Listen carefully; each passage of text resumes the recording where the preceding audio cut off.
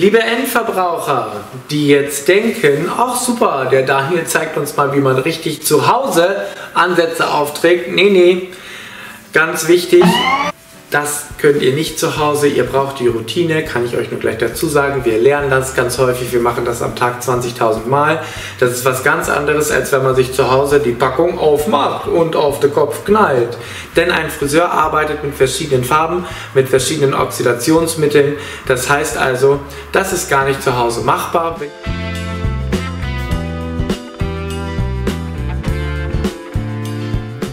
Hallo liebe Auszubildenden, na geht's euch gut? Äh, ich hoffe, dass die letzten zwei Videos euch eine Menge gebracht haben. Jetzt kommen wir mal zum nächsten Schritt, nämlich wie trage ich richtig Farbe auf? So, was brauchen wir alles dafür? Ich glaube, das kann man ganz gut erkennen hier. Ne? Eine Schürze, eine große Bürste, ein Kamm, zwei verschiedene Pinsel und natürlich Farbe und ganz wichtig wäre natürlich das Modell. Da finde ich es immer ganz wichtig, natürlich die Kunden vernünftig einzupacken. Ich mache es so im Salon, so wie ihr das hier in dem Video seht. Viele machen es nochmal ein bisschen anders. Passt euch da natürlich ein bisschen an, so wie ihr das im Salon macht. Ich finde immer wichtig, die Klamotte muss geschützt werden mit einem Handtuch. Es muss ein Lackumhang umgezogen werden, damit es auch hier nicht ähm, dazu kommt, dass die Farbe vielleicht durchläuft, weil manchmal kleckert man etwas. Die Konturen könnten gegebenenfalls etwas geschützt werden. Und ganz wichtig hier für mich, wir Friseure müssen auch gut aussehen. Denn dazu gehört eine Schürze, die wir anziehen und dazu gehören immer Handschuhe.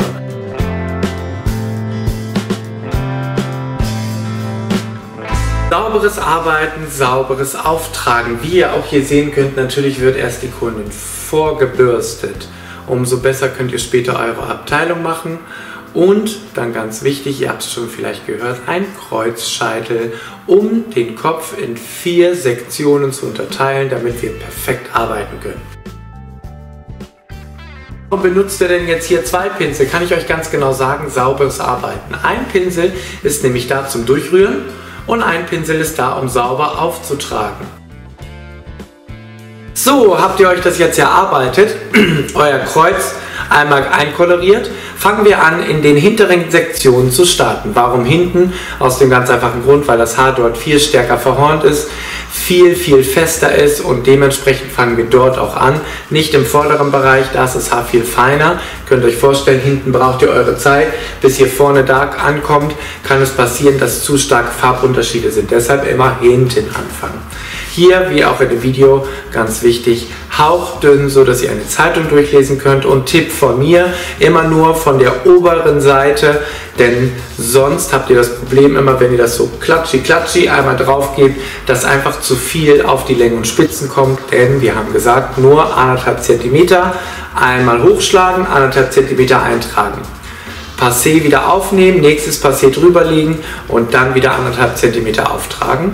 Und das erarbeitet ihr euch am kompletten Hinterkopf. Seid ihr damit fertig? Ganz, ganz wichtig, legt es euch wieder sauber zurück in dieser einzelnen Sektion. Umso besser könnt ihr später, wenn wir die Längen und Spitzen machen oder auch Strähnen eventuell später irgendwann setzen, könnt ihr euch das viel leichter und schöner abteilen. Deshalb schön fahren und sauber auch wieder zurücklegen, denn wir wollen professionell arbeiten.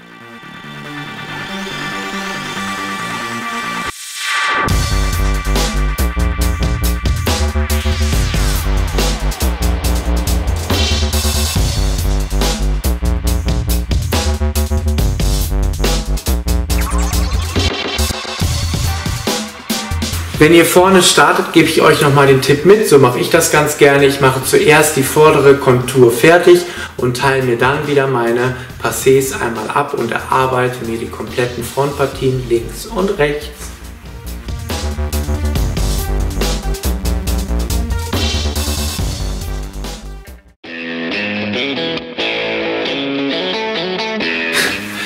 Ihr dann komplett fertig, ist es ganz wichtig, rennt nicht weg von der Kundin, weil was gehört dazu? Tilde macht das hier so schön nach in dem Video, weil das kann immer mal passieren, glaube ich. Eine unsaubere Kontur, gar kein Problem für uns. Wir erarbeiten das mit einer nassen Serviette oder mit einem nassen Handtuch und arbeiten da komplett nach und nicht vergessen die Ohren und vor allen Dingen auch nicht vergessen, ob ihr irgendwelche Farbreste auf dem Umhang gelassen habt. Der ist natürlich auch wichtig, dass das auch sauber gemacht wird. Und dann nehmen wir natürlich die ganze Farbschale und die zwei Pinsel mit und wir sind mit den Ansätzen erstmal fertig. So, kommen wir mal zu den Längen und Spitzen. Hier auch ganz wichtig, ihr habt jetzt wieder vier Sektionen, woran ihr perfekt arbeiten könnt. Auch hier wieder bitte hauchdünn abteilen. Die Farbe wird aufgelegt, ganz wichtig, achtet bitte darauf. Wenn ihr mit Tönungen arbeitet, könnt ihr gerne mit dem Kamm nacharbeiten, so wie ich das hier in den Längen und Spitzen gemacht habe. Sofern ihr aber mit etwas Alkalischem arbeitet, also eine Haarfarbe dort oben drauf gebt, ganz wichtig, wird am besten nicht durchgekämmt. Aufgrund der Alkalität quillt das Haar und man zieht sozusagen mit dem Kamm noch an den Haaren. Dementsprechend wird dort ein Zug ausgelöst, was die Haare nicht so gerne mögen, zumindest nicht 5, 6, 7 Mal hintereinander. Denn das machen nämlich Kunden immer zu Hause. Die schmieren sich das auf den Längen und Spitzen drauf und dann irgendwann flupp, ist das Haar nämlich weg. Wir sind Profis.